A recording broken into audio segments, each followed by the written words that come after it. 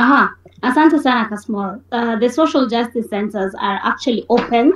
They are community centers. They are a space for community. Like here in Mathare Social Justice Center, every Saturday at 2 p.m. we have community meetings. Members of the Mathare community are welcomed to attend that meeting and raise any issues, any community issues that need our urgent attention. Recently, the community issues we've been dealing with are the issues of evictions. You're aware that President, uh, the outgoing president, in his madness, came and demolished uh, our houses as a response to flood mitigation, and our people have been sleeping outside. Uh, it's still very cold. We're still landless. So that has been an agenda that we've been discussing extensively. The other agenda has been the agenda on extrajudicial, uh, extrajudicial killings and police harassment and brutality, which has intensified since Maandamano.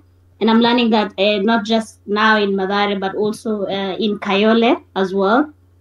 And uh, as we seek to liberate the nation, uh, uh, the country at the national level, we also need to figure out how ianze hapa home. Kuna beshte yangu alikuwa ananiambia Ruto must go, ni lazima kwanza ianze, ianze kwa keja. Ule Ruto anakuwa press as an individual, Ruto must go. So sisi kama community tunaopresiwa sana na makarao, and that is our genesis of Ruto must go. We have to sweep everything clean. But then also we have the understanding that no actual reforms can work in this uh, neoliberal system kwa sababu Ruto ni representative wa imperialist. So haizi hata make decision peke yake kama Ruto. Lazima ageuke aulize Meg Whitman, unaonaje story? Tuna approve ama tunakataa? Sisi hatutaki mtu kawa hiyo akuwe representative wetu.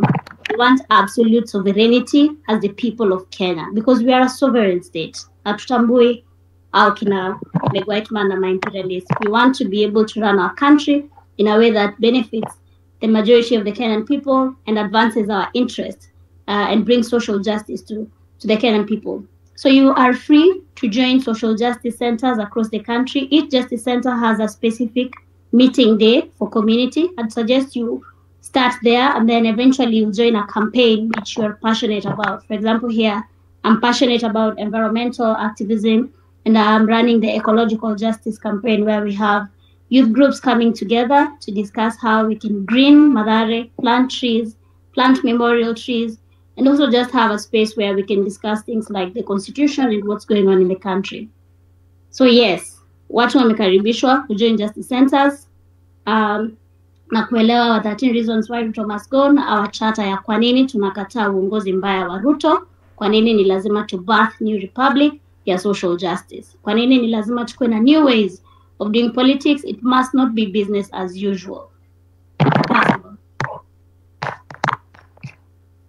Thank you very much. Uh, at the top of the hour, at 9 p.m., we will have a poetic piece by one very insightful gentleman who's been doing such a great job in terms of civic education, who is my brother from Nakuru, Mr. Willie Oeba, who has given the governor of Nakuru sleepless nights.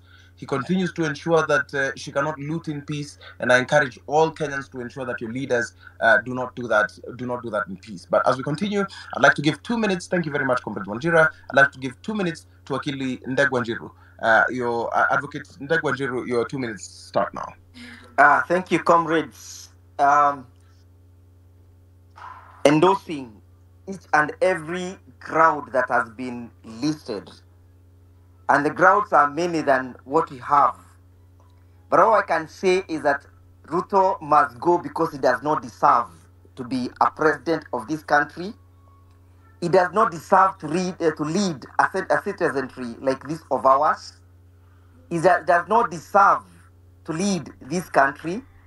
He does not deserve to represent us in the Committee of Nations. One reason that Ruto must go is that he has exhibited incompetence of the highest order.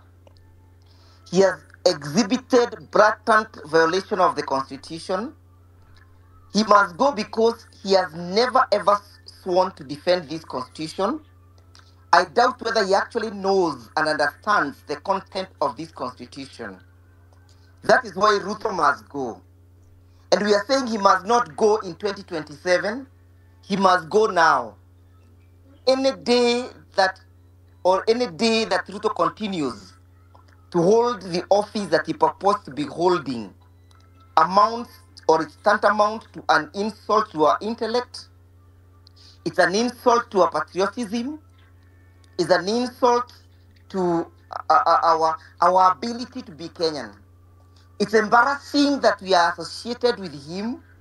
It's embarrassing that he purports to represent us.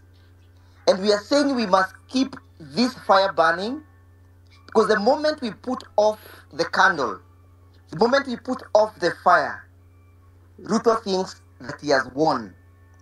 We are saying that whatever he has done in this country as, as being exposed is, is mutilating the future, our future, and even the future of our children in what we call intra and uh, intra and extra um, um, um, um, is, is basically mutilating our future.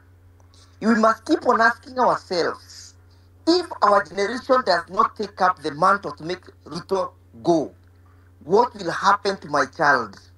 What will happen to my son? Who will gonna speak for him? So, in my view, if I am told to walk tomorrow, I walk. If I am told to run tomorrow, I'm going to run. If I'm told to shout from the rooftop, I am going to shout until the deaf hear that Ruto has no space in this country.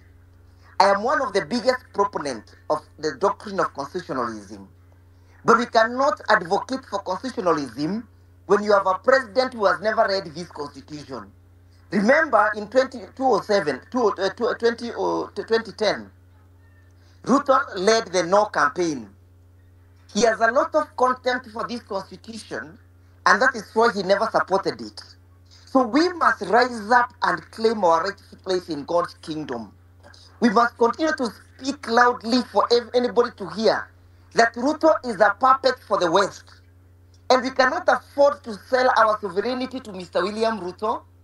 We cannot afford to watch him sell our sovereignty.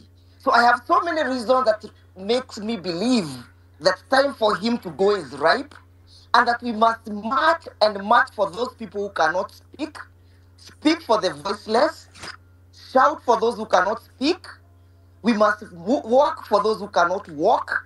We must tell Ruto that we shall not watch as he ruin our future. So yes, I endorse the 13 thematic areas that makes us believe that William Ruto must go.